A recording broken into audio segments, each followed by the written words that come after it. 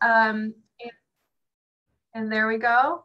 Recording is in progress. Uh, welcome everyone to Chicago Water Week with the Alliance for the Great Lakes, Elevate Energy, Illinois Environmental Council, and Little Village Environmental Justice Organization. Uh, my name is Anna-Lisa Castle.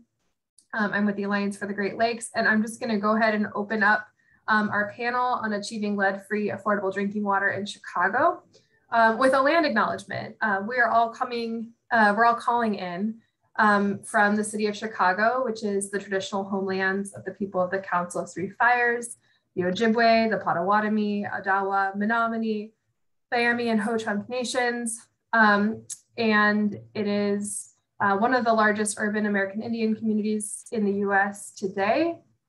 Um, and we're here today to talk about, you know, one of our most precious resources, which is which is water um, here on the shores of Lake Michigan.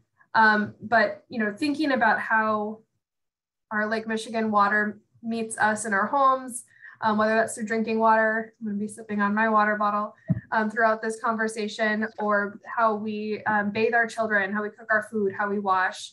Um, water service is critical to daily life, um, but we know that it's not something that we can take for granted. So today we're going to talk a little bit about water affordability and uh, lead-free, safe water service um, for all Chicagoans. So before we get started, I'm, I, I am going to ask the, the speakers to introduce themselves here, um, but I just want to level set a little bit. Um, by acknowledging that in the city of Chicago, we've seen over a 10 year period, water, the cost of water service for the average family of four um, more than triple. We've seen this trend of, of water rates and water costs rising across the US. Um, at the same time, water infrastructure is very expensive.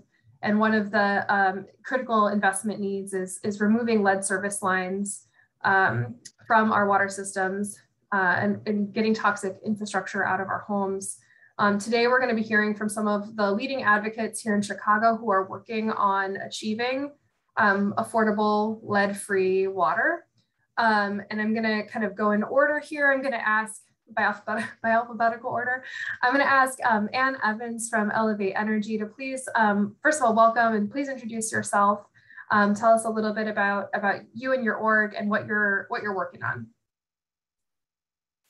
Hi, Anne Evens with Elevate. So happy to be with you all today and so happy to be on this panel with Anna-Lisa, Iyana, and Brenda, um, a great group of um, strong women advocates. So really proud to be with you all. Um, Elevate has a vision where everyone has healthy, safe, affordable ways to have heat, power, and water in their homes, no matter who they are and where they live. And we sadly know that that is not the case. Um, and so we uh, um, design and deliver programs that provide direct benefits to people, inclu including energy efficiency, solar, uh, more efficient water use, um, and lead service line replacement so that we can get to that place where we have healthy, safe, affordable water in our in your homes. We believe this is to be a human right, um, and we advocate for policies that help us correct the inequities um, and look, look forward to that.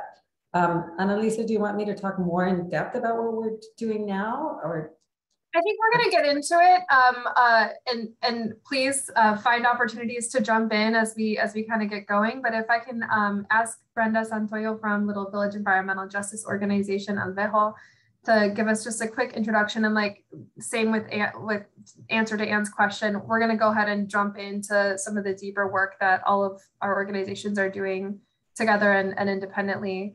Um, but Brenda, please introduce yourself.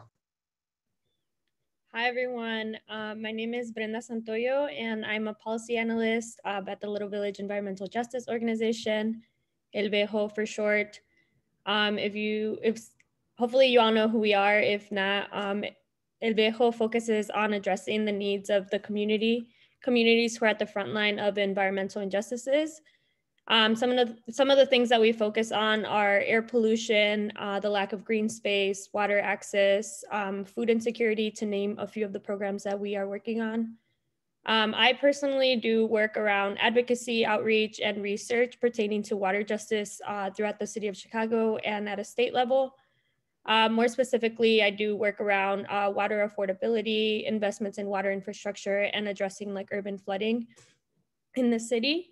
Um, some of the work that we do, most of the work that we do as an organization, we do jointly with a number of water advocates throughout the city. Some of, um, like Anne said, um, working with Iyana, Anna-Lisa, among among other experts in the field of, of water and environmental um, environmental research. Um, we LVEJO is also a part of the Chicago Environmental Justice Network uh, that addresses um, a number of environmental justice issues throughout the city of Chicago. Um, and then also as a side note, LVEJO also represents the community um, where the city of Chicago is conducting their lead service line replacement pilot program on the South Ridgeway block. Um, but yeah, just happy to be here and I'm excited to have these conversations with you all. Wonderful. We're excited to have you and we're going to definitely get into that in a little bit. Um, Iyana, please introduce yourself and then uh, and then we'll jump into it. Cool. Hi, everyone. Iyana Simba. I'm City Programs Director for the Illinois Environmental Council. Um, for folks who are not familiar with us, we have been around since 1975 and really what we do is we represent over 100 different environmental organizations and individuals throughout the state, um, really around conservation, energy and climate, and water. Um, and my, my, myself personally, um, prior to the, my position as the city programs director, I was the clean water policy director and prior to that, I was a clean water advocate for IEC. So I have quite a bit of knowledge in uh, water and I'm happy to share it, but also learn from some of my fellow colleagues here today um, I guess the most noticeable th notable thing that IEC has done related to water is we recently passed our lead bill, uh, House Bill 3739. Yes, yes, that's class. This is after three years of hard work that we were able to pass this, and this will um, make sure that you know Illinois is moving towards replacing all of its lead service lines. Um, so that's IEC, that's myself, and I'm just really happy to be here on this panel and again share what I know, but also learning from uh, my colleagues.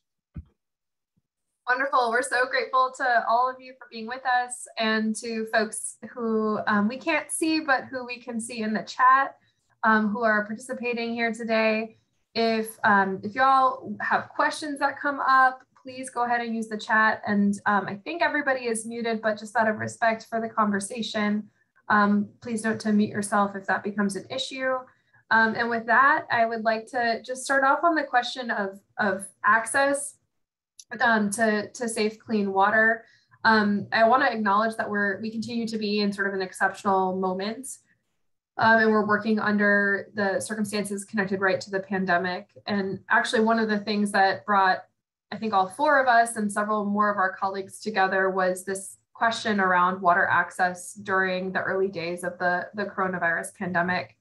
Um, we are we celebrate the water shutoff moratorium that was in place prior to the pandemic here in Chicago.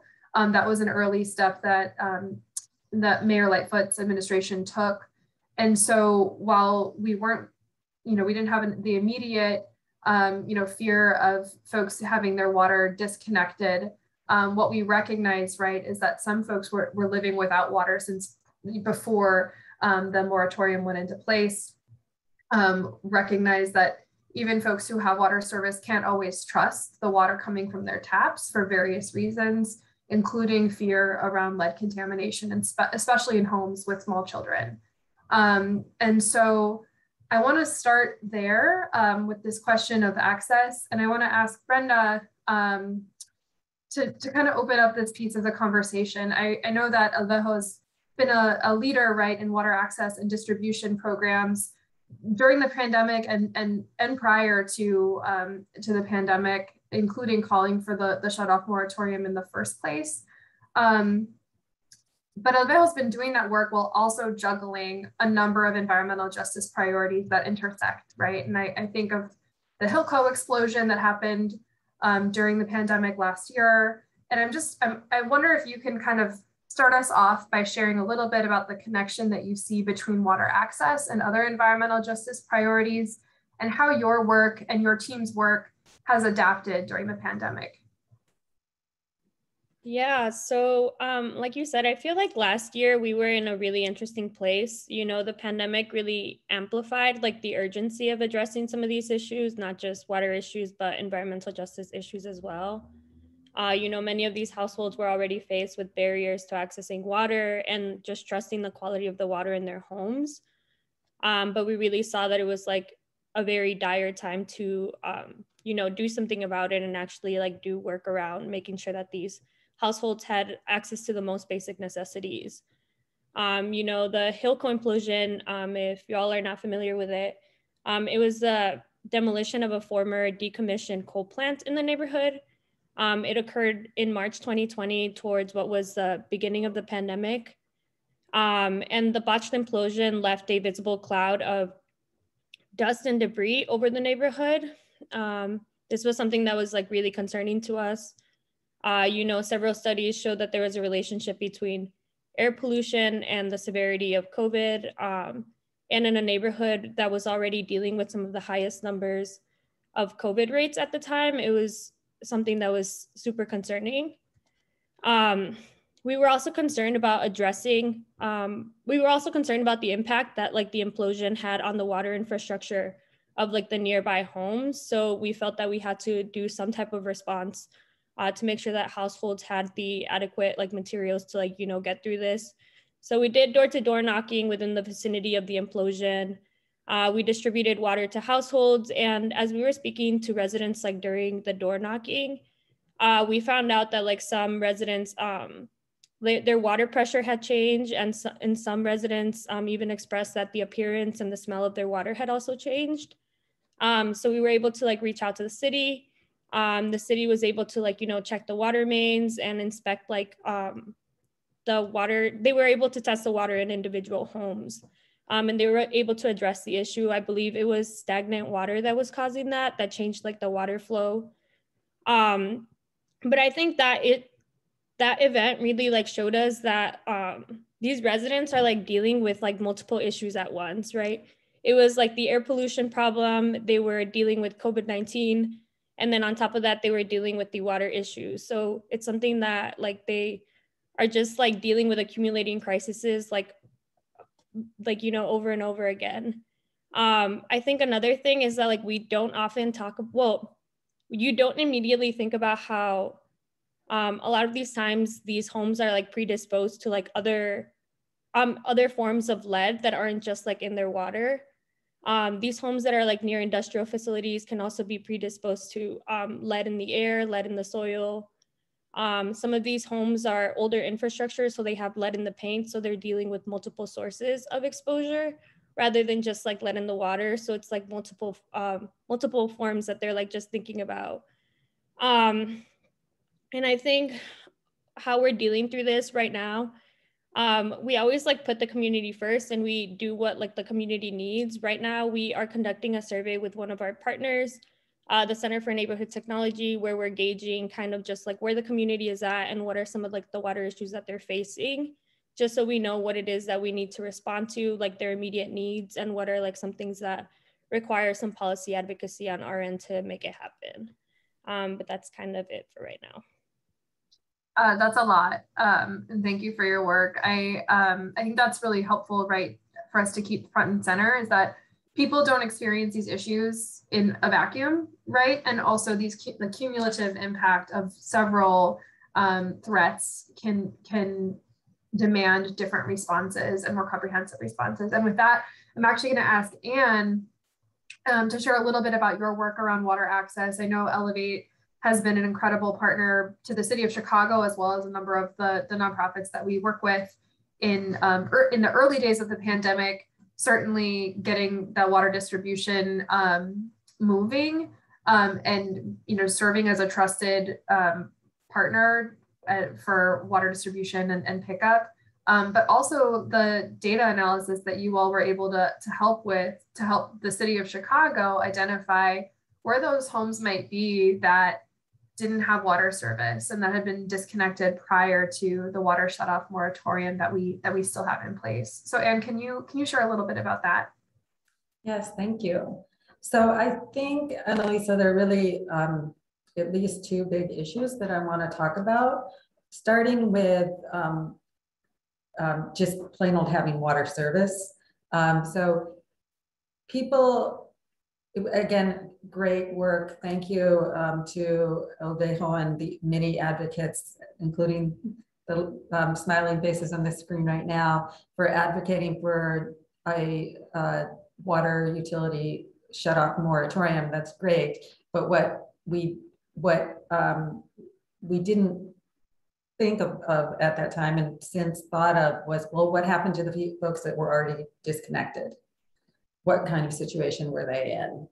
Um, and to share a little bit of the stories that we heard, um, many, um, many people were, had had their water disconnected, either because there was a leak somewhere on the service line or for lack of payment those are the two main reasons that water service is disconnected.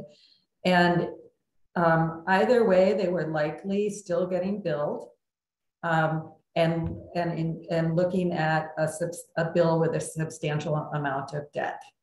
And in that situation, um, you know, building off of what Brenda already shared about the multiple or cumulative effects of the stress, um, you know, raising your hand and calling, um, calling 311 and saying, please, can you re reconnect me? Staring at that like very significant debt, thousands and thousands of dollars, um, is, is a challenge. On, on the city side, the city is in a unique situation where two thirds of the residential accounts are, on, are non-metered. So that means the city doesn't have a good way of knowing if the water is flowing or not. I know that seems incredible to say, but that is in fact the situation where, where we found ourselves in.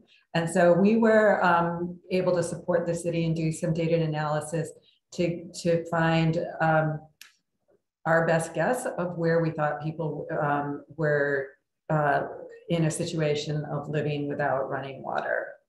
And in um, we uh, sent out postcards, but more importantly, we worked with community partners like you all um, and many others to get the word out that there was now a resource to get reconnected.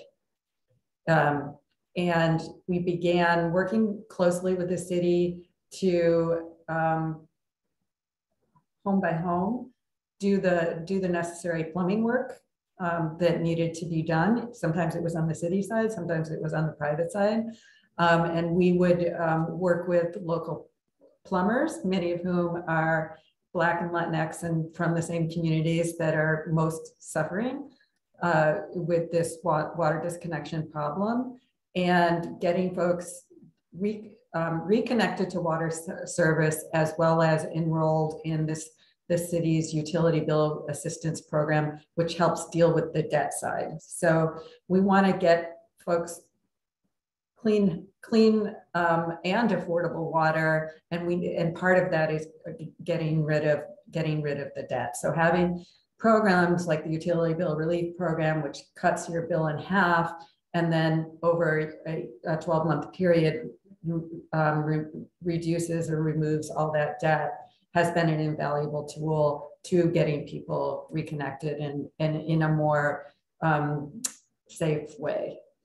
At the same time, so that's the like water water reconnection issue. The other issue I wanted to bring up was that during COVID, all those sources of public water, like the water fountains, like the park districts, like the lakefront, um, were all closed. And so helping again in, in coordination with the city and so many, um, you know, over 80 community partners, we were able to help support a bottled water distribution system um, that, that could get water to people. And that included creating um, with our community, um, actually, our community partners created um, pickup sites for folks who had that ability and then we also would deliver water directly to people's homes is um, um, because you know not everyone has access access to um, a vehicle uh, probably you know I, I know my, my, even today, I'm still a little anxious when I get on the CTA. Um, so, so we wanted to make sure we were providing that complete access. Absolutely. And I, I will just say, I, I've slowly started taking the CTA again and the idea of the, the idea of like hauling cases of water by bus um, is like would not be manageable, right? So thank you so much for your work. Um, Iyana, I want to sort of just turn to you and, and we'll pick up on some of these pieces again um, later in the conversation. Um, but I, I just want to sort of acknowledge the way that in, in which um, IEC, Illinois Environmental Council, has been um, a leader in, in throughout COVID, and I've seen the organization, which has you know served as a resource for so many environmental partners across the state, um, really step up during the pandemic. I, have seen sort of a, a, growth in sort of the way in which IEC has been an ally on important environmental justice issues, working closely with um, Chicago Environmental Justice Network, um, and also doing defense and strong advocacy around the state budget and, and those negotiations as relief dollars have flowed in. And I'm wondering if you can talk a little bit about how, how your water work shows up within um, sort of certainly the budget negotiations um, that, that your team, your colleagues have been have been leading on, um, but also how IEC's water advocacy portfolio has sort of evolved during the pandemic. Yeah, so I mean, I definitely think that the pandemic has definitely, you know, pivoted what IEC focused on with water affordability. Um, even prior to the pandemic, of course, we were concerned about people having access to water and recognizing that even before then, people didn't have access. So there were people who, you know, were dehydrated. There were people who weren't able to cook for themselves. There were people that had their homes condemned, like all these different public health and socioeconomic impacts coming from not having access to water. But I think really the pandemic kind of switched it to where we were recognizing that, oh, people also, that also means that people can't cook home food while they're being forced to quarantine, or people cannot wash down their countertops if they don't have water, or people can't um, take a shower or wash their hands. Like these are all things that are really, really incredible, are really impossible or nearly impossible to do when you don't have access to water. But I think on a larger scale, the pandemic shed light on one that, you know, it drew more attention to the fact that people don't have, like some people don't have access to water. But I think an even bigger issue really is that we don't know how many people don't have access to water. And during the pandemic, that's where IEC, some of our advocacy shifted to looking to, you know, how our utilities being uh, overseen. So in Illinois, um, there's the Illinois Commerce Commission, which oversees investor-owned utilities. So that, or at least investor-owned water utilities. So that's things like American Water, Aqua Illinois, um, and those are private, privately owned utilities. They have to have some type of reporting requirement that they report to the commission. Separately, there are municipal, municipal ran water utilities. So for example, the Department of Water Management would be a municipal ran water utility.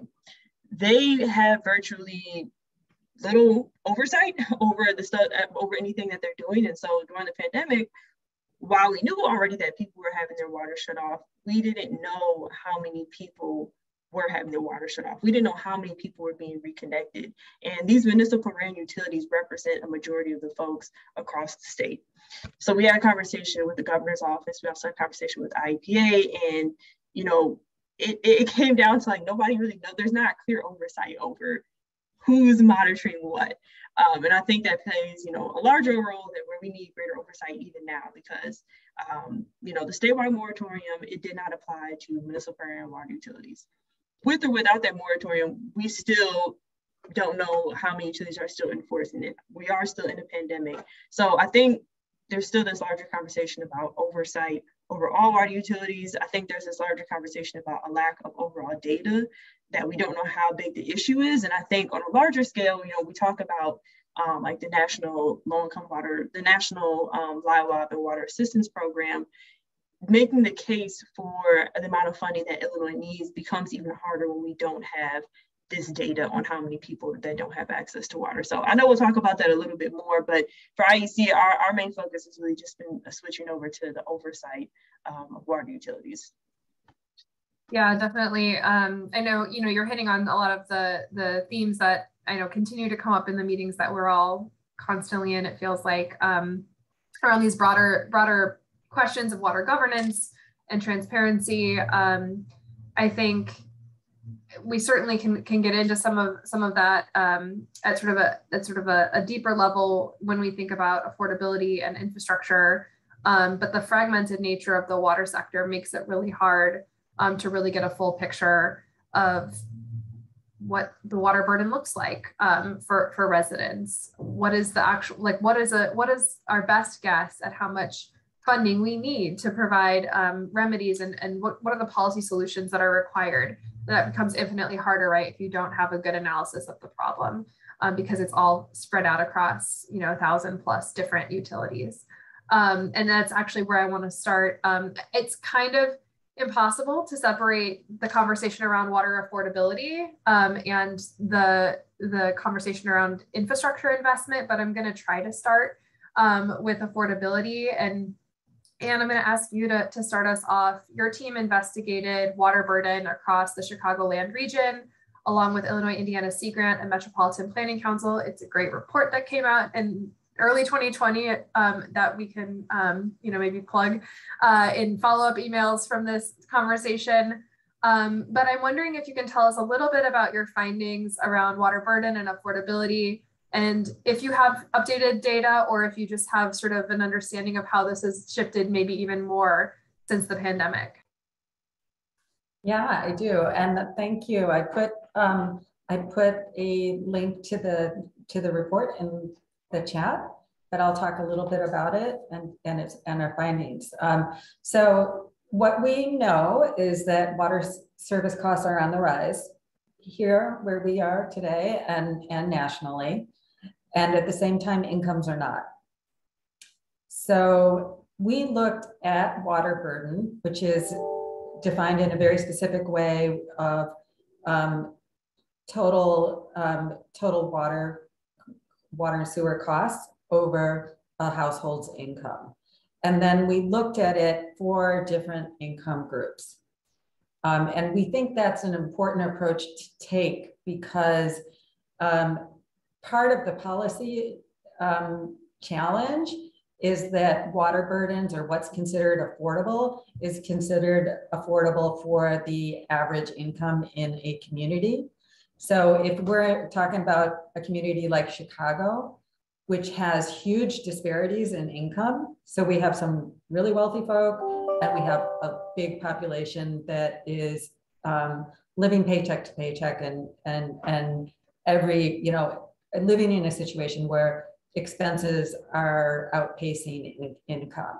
And so we think it's really important to look at different income groups. Um, if you take a look at the report, you will see that we built a um, water affordability dashboard tool. I'll put that in the link as well. Um, and I, um, in case you can't find it, it's in the report, but just to make it easier, we'll put the dashboard in there as well what we found um, is that you know water water and sewer rates are increasing. Additional charges um, are getting tacked onto water and sewer bills, so maybe garbage, maybe taxes. Um, there are additional penalties associated with late payments. So, um, so people are dealing with not only struggling to pay the current bill, but also dealing with that debt that builds up over time. Um, an additional challenge is that um, uh, in order to um, try to recover that debt, there may be a threat of putting a lien on somebody's home. So um, imagine the stress of being of, of being afraid of losing your home because of a lien um, is it's it's it's too much to manage. Um, and of course, um, during the COVID, um, well, we're still in COVID, there the impacts of COVID, right, of lost income uh, during the water mor moratorium, uh, folks rightly had to um, prioritize other expenses like food. Um, and so debt is growing during that period of time. Um, the the resources that are coming from the federal government and from the state government that Iyana referenced um, take some time to get out the door. Um, there's always um, there's often a local uh, state, county or state capacity challenge in the, at the government level to get all the doors out, dollars out the door quickly. So a lot of people remain um, struggling with just a great deal of debt and the COVID relief has not shown up yet. Um, we did find that, um, of course, the, the folks with lower incomes have really can have really high water burdens, meaning 15% of their income is going to pay for water when you imagine all the other things you have to pay for. Um, that is, you know, widely considered multiple times way too high. Um, again, you can look at the dashboard to see how your community is doing. Um, and while when you look at the report, you'll see a map. Um, we love to make maps, and you'll see the um, that there really is water burden across the northeastern Illinois region. But when we look at it by race, we do see Black, Latin, Latinx, BIPOC communities um, struggling with greater water burden than, than other communities. So it is, there is definitely inequity there. Um, we um, found that uh, water burden for single family, two flats, um, three flats is is the highest. Um, so that is the that is the community that needs the most um, help. And we had um, this is we had this is more anecdotal, but we've had the cities and villages across Cook County reporting to us that as much as 50% of their um, um, accounts have are in debt. So there is also, you know, a problem for the water utility that the debt is so great they won't be able to um, collect it. And so as we think collectively about the best um, the best use of the federal and state subsidy, we know that it needs to go to communities of color first and not last in, in order to um, um, set, set us up back towards a path of resiliency and hopefully towards equity. Um, we also learned that um, there is uh, there's a gap in knowledge and understanding of how water water bills work. It's it's very um, opaque. it's not clear what you're getting charged for and what you can do to reduce your charges. We found that um, older populations needed more assistance um, and that um, also with COVID and the um, the loss of the very important social safety net that exists not only um, through faith-based communities and community-based or organizations and families um, that folks are really, really struggling and are in this circular um, situation of financial hardship where they're they have the inability to improve their properties and therefore reduce their bills. Um, and they're facing constant ba basic needs trade-offs. And as just to take us back to where Brenda started us with, if you can't pay your water bill, likely you can't pay your gas bill or your electric bill either. So we were helping people really across this the spectrum. Thank you, Anne. Um, and I really can't stress enough how great that report, or how illuminating, I should say, that report was. Um, it's in the chat for folks who who um, can go ahead and, and click through, save it for later. It's an important read.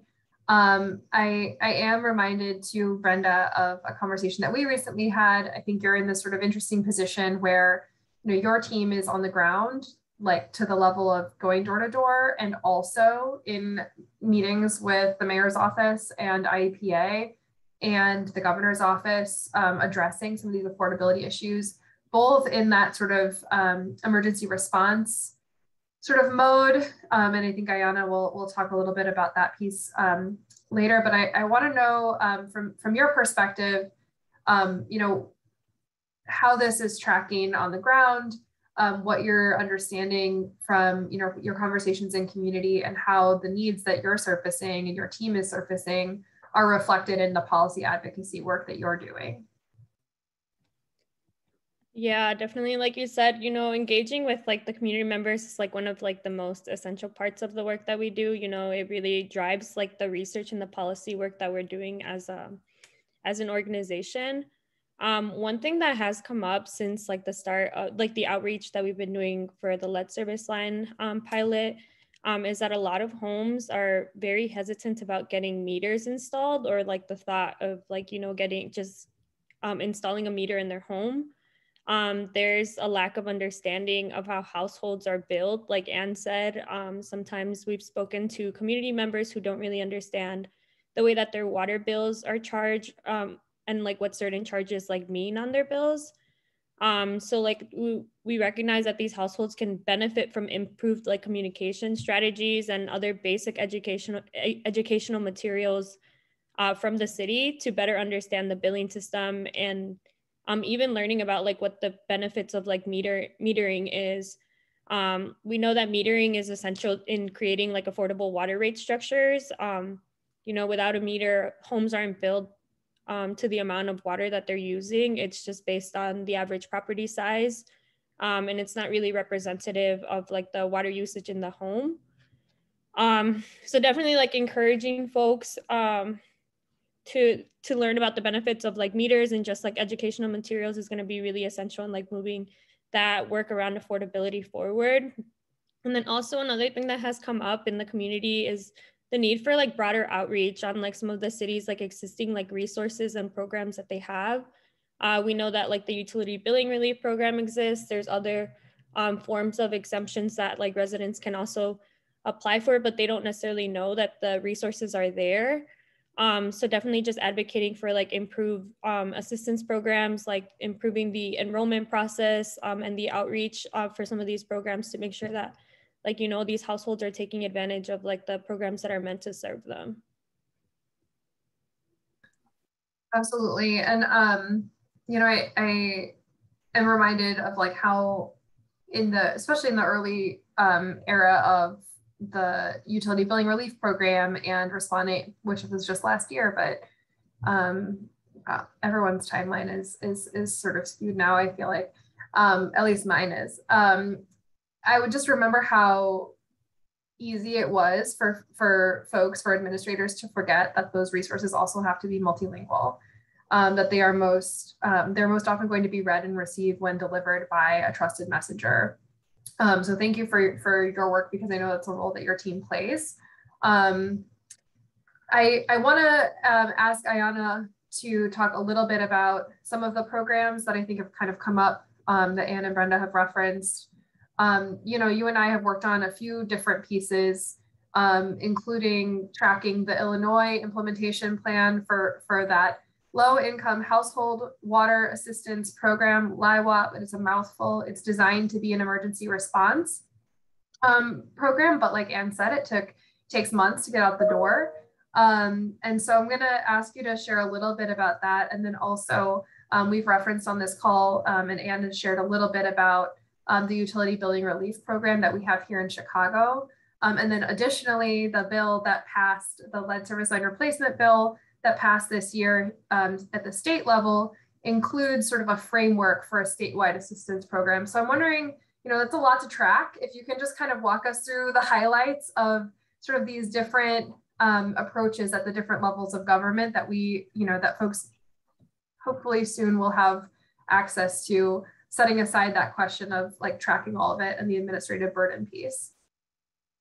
Yeah, so I'll talk first about the National LIHWAP program and then what's in the state bill, and then I'll touch on UBR at the city level. So the National LIHWAP, I'm just gonna call it that. the National LIHWAP program, as Anna-Lisa said, it's an emergency two-year program um, that's really aimed at low-income residents um, that have a high water burden. So it really just goes towards helping with reconnection and uh, so past water bills like late fees, um, and so Illinois received 42 million. Uh, so the benefits are capped. Um, and the part of that reason why is 42 million, one is just not a, a lot of money. Um, and then second, you know, in Chicago alone, there's 10,000 people that have $5,000 or more in water debt. So if the if there was no cap, I mean, that would be right there, all that money would go straight to Chicago. So they have capped it to $1,500 per person. Um, and it's supposed to affect about 28,000 Illinoisans. And again, that goes towards right, reconnection costs, late fees, arrearages, et cetera. Um, so in short, what it does do is, you know, during the time we don't have a statewide moratorium and we don't have really any serious oversights over utilities, it does provide reconnections for those people. It also provides uh, water assistance to renters. The program is uh, open to them as long as they can prove that part of their rent is water is water charges. What it doesn't do, where it, there's a shortfall, is that it isn't a permanent program. So um, it's not going to make permanent. Uh, it's not going to make reconnections permanent. It's not going to stop water shutoffs permanently, um, and it doesn't in service the entire need that Illinois has. 28,000 people is a decent amount, but we may have twice as many of those people that actually need that help. So, um, and it also doesn't, finally, it doesn't address that data issue that I mentioned earlier. So there's no one agency that oversees all water utilities in the state. So with that and the fact that, you know, the Office of Community Services, that's the national office, as well as DCEO, which is the Illinois office that's implementing this. That's the Department of Commerce and Economic Opportunity. I'm always asked what that stands for, but they're the ones implementing the program. And they also don't have the authority to mandate that um, under this LIHWAP program, utilities have to, you know, disclose like how many people are disconnected or reconnected. So they're like there's some benefits to the program, but I, I, think overall it truly is an emergency program and it doesn't get at some of those long-term needs that we that we have for water affordability. Um, at the state level, in the lead service line replacement bill, we have uh, the low income water assistance program. And that, that's a little bit more bare bones. It's kind of language that we put there just to have like a framework for it. And part of that bill has like an advisory board that'll go back in and really uh, flesh some of that stuff out. But that would truly be a water assistance program that would provide like a percentage rate discount um, based on someone's income um, and lowering their water their water bill. Um, and then finally, at the city level, at Chicago, um, there's a utility billing relief program. So this originally started off back in January as a pilot program, but we now know that it's going to continue through next year. And I think either Brenda or Anne had already kind of given the gist of the program. So it's a 50% reduction in water and sewer charges. And then if you're able to make with that discounted rate, if you're able to make it on time for an entire year, that means that your everything, like all of your debt that you get, all your water debt that you have is immediately wiped out. Um, and if you do, if you have some months where you don't pay on time, you are allowed to re-enroll in the program. So in short, what it does, it provides huge debt forgiveness, um, and it is a decent amount of assistance. Um, but what it doesn't do, again, the issue of data, um, and it doesn't provide oh, sorry, I didn't see that it had left. Um, it doesn't um, it doesn't provide that data need. It doesn't provide assistance to renters, and it also doesn't provide assistance to um, unit place homes that are three plus or more units. It really just applies to single family homes and two flats. Um, and participants are still subject to rate increases. Um, I know IEC, LVEJO, uh, Alliance for Great Lakes, we're all working on what could be possibly like an amendment to the utility billing relief program that could address the renter issue, the data issues, and among a few other things. Um, but I think the shortfall really with this program, and overall just with these assistance programs is that assistance does not equal water affordability. And I think we've put a lot of our, our and this isn't just us as organizations, but just in general, I guess as a society, we've put a lot of time and like, you know, thought into assistance programs, which are great and are needed immediately, but we still have a long-term issue with affordable water rates. And so I think kind of tying that all together, we have these programs that have some issues that need to be fixed, but overall, we want to see an affordable water rate system. We want to see people who are using the least amount of water are paying the least amount and people are using it the most. So businesses and industry are paying the most. Um, and that's that's kind of where I see we're, we're trying to move towards a little bit, um, still focusing on assistance, but trying to move just towards like rate restructure. Absolutely, that's a that's a really important distinction, right? Um, and I'm glad that you made it. Um, these assistance programs, while they can prove critical, especially the ones like you know we have here in Chicago that have a debt relief um, component um, can be life changing for people who are carrying significant debt um, and whose water rates go up and whose in income has not. Um, but it's not the same thing as um, whether it's rate reform or sort of deeper affordability uh, mechanisms. And to do that, like we do need greater investment, um, but it needs to be equitable investment. And we also need, as Iyana, I appreciate you coming back to this point around um, clearer water governance um, and data transparency um, across what is a very fragmented sector.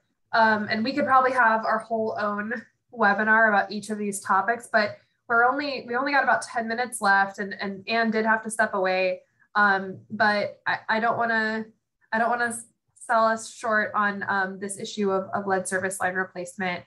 Um, I think a lot of the folks who are uh, listening in probably know this, but lead is toxic to human health. It is especially damaging um, to young children, um, to brain development, um, and also was required. Uh, it was required until the late 80s um, that builders use lead as the material for the service line that connects homes um, from the water main to the home. Um, so essentially, we have uh, that leaves us with um, about 400,000 homes uh, where people are are you know essentially drinking through a lead straw. Um, there are corrosion controls in place. Like I don't mean to incite panic, but it is a serious issue, um, and it's an issue that the city of Chicago um, recently has sort of has taken up after a long time of sort of um, silence or, or sort of ignoring the issue of lead service lines, um, the Lightfoot administration has acknowledged this le legacy problem and developed um, a pilot replacement program that I know all of us and Anne and many of our amazing colleagues have been part of um, addressing, understanding, providing feedback to the city. Um, and I'm wondering, Iyana or Brenda, um, if, if either of you feels like ready to sort of quickly recap um, what the city is doing now, um, but then also sharing, you know, what you think we need um, moving forward. And I'll note um, the, and maybe we can start Iyana with with with you. Um, while the city of Chicago will be subject to to the guidelines in the new, uh, and the, sorry, the requirements in the new lead service line replacement bill, um, it does get a 50 year uh, carve out um, and so maybe you can maybe you can start there with what's happening at the state level and then quickly what's happening in Chicago. Again, sorry, we're, we're running out of time here, but want to make sure that we're giving people a picture of that. Yeah, no, I'll be quick. Um, so yeah, with the lead bill, again, you know, shout out to LVEJO, Alliance for Great Lakes, others that have helped us on that, as well as the sponsors. Um, so Representative Lamont Robinson and Senator Melinda Bush. Um, in short, what the bill does is that it requires municipalities and water suppliers to find and replace all lead service lines in Illinois, um, prioritizing lead burden communities and childcare facilities. As Anna-Lisa mentioned, uh, the communities are given like have individualized timetables. So Chicago, which has 390,000 lead service lines, has most lead service lines, they're going to get 50 years. But obviously, a place such as Kankakee is not going to also get 50 years. Um, another, uh, there's a few other elements to part of the lead bill. So it creates like a fund that can go towards not only lead service line replacement, but for municipalities that finish replacing their lead service lines or don't have any, it would be a fund that they could then use for other water infrastructure upgrades. It also um, establishes an advisory board, and then it also includes the statewide water assistance program the biggest connection is just at the city level. It now puts, it basically now sets the city on an actual timetable. Before I know um, Chicago currently has its equity and homeowner led service line replacement programs, um, which were not necessarily didn't have a real timeline. And this state bill is now saying that, hey, this is the timeline that you need to get all this work done by. And um, pivoting over to like the city level, uh, yeah, again, the city has the equity um, lead service line replacement program. So that's for low income residents and can provide free lead service line replacement. And then there's the homeowner lead service line replacement program, which provides um, anyone who doesn't meet that criteria for the equity program can apply and get waiver fees um, waived, but of the part, the cost of the actual lead service line replacement would need to continue uh, or would be at a regular rate. So that's kind of the breakdown of what's happening and kind of the connection between the state and the city. It really just puts a little bit more pressure on the city to get the lead service line replacement done at a quicker timeline when we're currently at 10 lead service lines replaced. Yeah, um, progress has been slow. I, I do know, so the city, just to add a little bit of context, and I'm going to ask Brenda to weigh in. Um, the city is operating um, the, the pilot replacement program on a community development block grant that is extended into next year. Um, and so, it, yes, there's like the equity um, program that offers, you know, for, for um, a somewhat limited um, eligibility, sort of eligible population, a free replacement but then homeowner initiated where the city waives about $3,000 in fees, but but the full cost of lead service line replacement re remains with the homeowner. And then the third piece, and this is where I want to get to you, Brenda, um, included in that pilot project um, that we're hoping to draw lots of lessons from and like use to accelerate, use the, the that learning and hopefully additional investment um, to accelerate the rate of lead service line replacement um, one of the, the sort of third component there is um, the block level replacement. So the city of Chicago has selected um, a block in Little Village where they are with a mix of different um, housing stock, where they're replacing a water main and all the lead service lines attached um, to it. And so that's the idea there is that we can start to identify some efficiencies and understand how this would look at scale. Um, but Brenda, as, as somebody you know who's in the community and where your team is knocking on doors, um, I'm really curious to know on the ground if you have any observations to share. Um, and also knowing that you know your advocacy and your team's advocacy has been helpful in marshaling resources to get lead service line replacement moving. Um, so I'm wondering if in the last few minutes you can kind of share what you're seeing on the ground and then also you know what you think it's going to take um, to, to move us forward on a timeline that's going to really serve the people who need it. Yeah, so I would say that like one big takeaway from this process is I, I feel like I mentioned it before, but community education is so essential in like just moving the process forward. Um, I think towards the beginning of like the pilot program, there was still a lack of like just basic understanding of what lead was and how lead impacts um, the water in people's homes. I think people still struggle to understand how they would benefit in the long run, like opting in in this program. Um, so it wasn't just a matter of like having the resources to get the pipes out of the ground, but also like how do you build the trust between the city, the Department of Water Management, and like these households that they are serving. Um, you know, our community organizer was like able to have like informal talks with like some of the residents on the block. She was able to answer some of the questions that these like um, community members didn't really have the confidence um, or like um, they weren't comfortable like asking the city like we were able to like kind of fill in some gaps there. So i think um, using the relationships that like you know these community-based organizations have like in these neighborhoods where we are replacing the lead service lines is like really essential um, just in like fortifying that trust and like that understanding um, and helping like enroll like some folks into the program. Um, you know, we know that like water infrastructure and like affordability is um, a statewide issue um, and it needs to be addressed everywhere, like not just here in Chicago. Um, and like, you know, the recently passed state law to mandate the replacement of lead service lines um, really allows us the opportunity to like mobilize resources and, you know, collaborate with other cities um, throughout the state to expedite this process. You know, um, I'm glad that like we're able to like mandate the replacement now, but 50 years is still a really long time. So if we're able to mobilize these resources to like get it done anytime faster, like that would um, obviously be amazing. Um, we definitely have the opportunity to secure like safe drinking water for future generations, and we need to continue to advocate like the importance of this issue um, to secure federal funding and like get it done. Absolutely, and I, um, you know, for for folks who are following, um, you may be wondering why we didn't we didn't go deep on um, federal resources. I think um, that landscape is shifting.